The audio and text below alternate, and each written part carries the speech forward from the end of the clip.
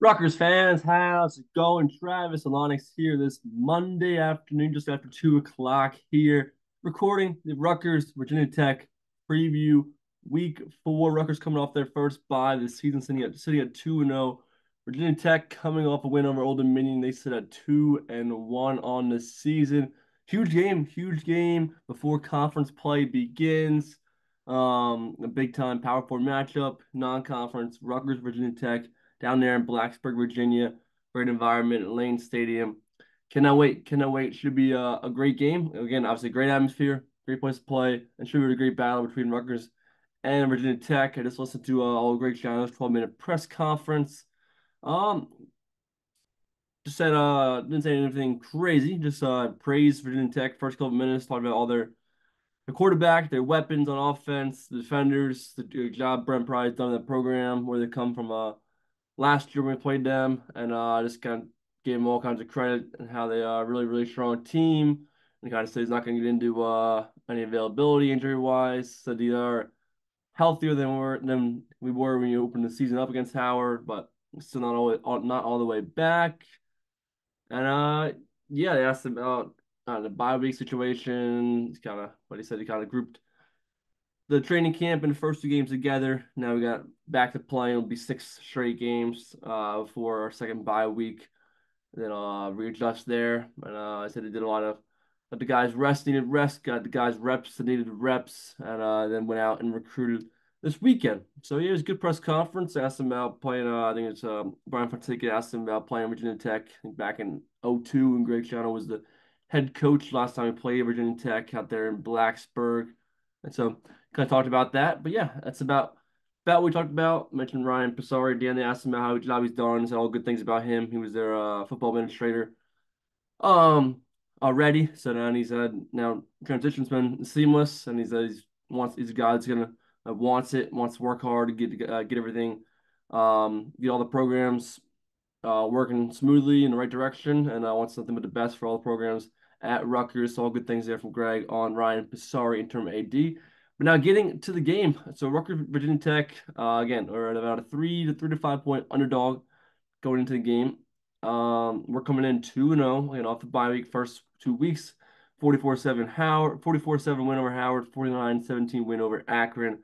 Virginia Tech on the other end is coming in at two and one, as I mentioned.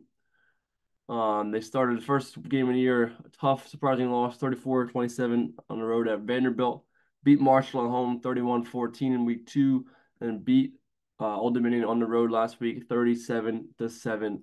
Again, a very talented team. Returned most of the starters from last year, more than Rutgers did. Um, they got better and better as the season went on last year after they played us with a 35-16 Rutgers win. A lot of guys banged up at a quarterback, quarterback situation was really unknown in that game. And Drones took over during the game. Rutgers ran away with the game 35 uh, 16. Rutgers had a nice early lead 21 3 at the half. Tech scored, make it 21 10, and they uh, made it dice cut a little closer, close there in that third, fourth quarter. But the Rutgers pulled away with Kyle Monangai exploding. Last year, he ran 16 times for 143 yards and three touchdowns, 8.9 a pop, the long of 55 on third and one, uh, second half of the game. And uh, Drones, as I mentioned, his first start, I believe it was 19 of 32, 190 yards, touchdown, a pick, ran 22 times for 74 yards. This year has been playing pretty well. Last week, Old Dominion, uh, 37-17, 14-10 at halftime. Then uh, Virginia Tech kind of pulled away second half, won by 20. Drones,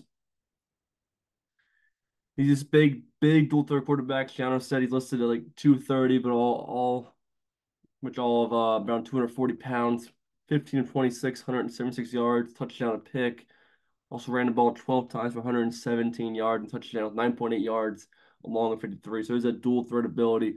Huge, big, strong guy, tough to get down, uh, shifty, break tackles. Really, again, tough, tough to break, bring down. Kyron, Kyron Drones. They got a lot of good receivers. Mentioned Jalen Lane.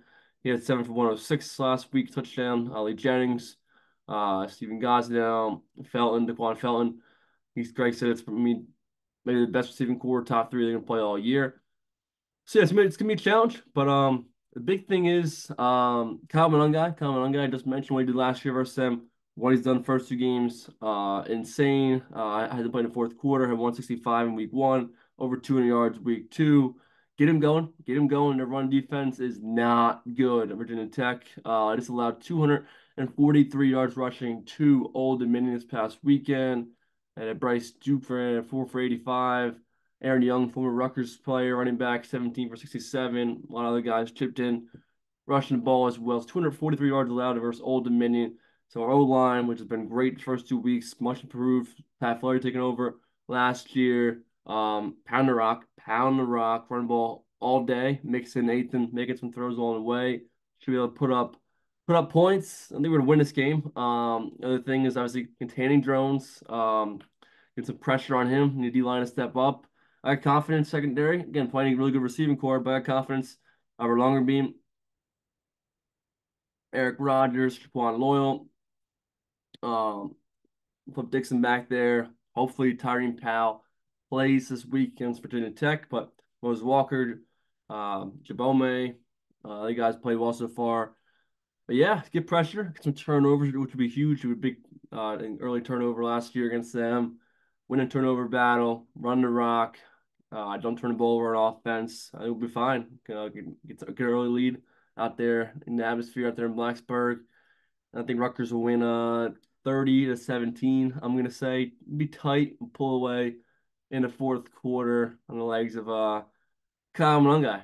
And yeah, that's what I see happening. Um, definitely gonna be a battle. Real good team. Surprising first loss, first game loss to Vandy, but they got the next two wins, two and one.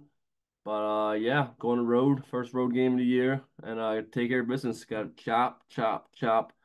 Go out there, get a nice road win. Power Four conference, ACC, Virginia Tech, Hokies, and go to three and zero before we come home for uh, Friday night blackout on Fox versus Washington. Open up Big Ten play. Yeah, that's about all I got. Uh, but you guys rested up. Have a good week of practice. You ready to chop out there in Blacksburg. Uh, running back wise, again, just mentioned more and more offense. Getting O line playing real well. Monangai, we'll see about Sam Brown, but um, Antwan Raymond playing real well in relief of uh, Monangai. The whole running back room is just stacked. Um, receiving corps as well. Chris on the deep ball, which showed was great. It showed we connect on those deep balls. Um, KJ Duff, first touchdown and strong. Those guys confident in them, make some plays. So yeah, let's go out there and beat Virginia Tech this weekend. Like I said, 30 to 17 is my score. Let me know you guys' thoughts, comments all down below. Like up the video here, subscribe to the channel if you're not already. Have a good one. Let's go, Rutgers.